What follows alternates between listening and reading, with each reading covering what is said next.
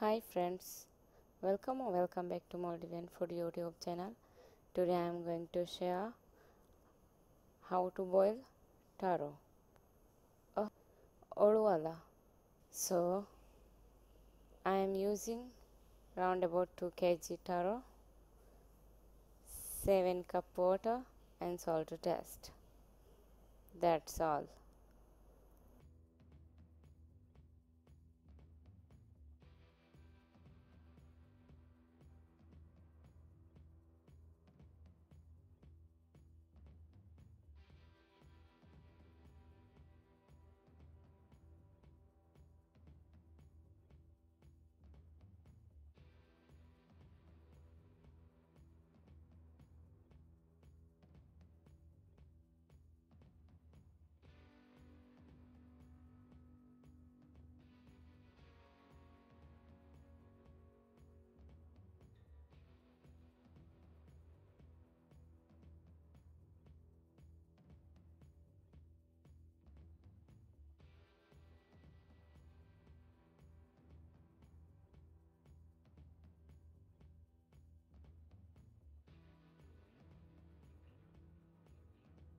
Serve with garudhiya and grated coconut.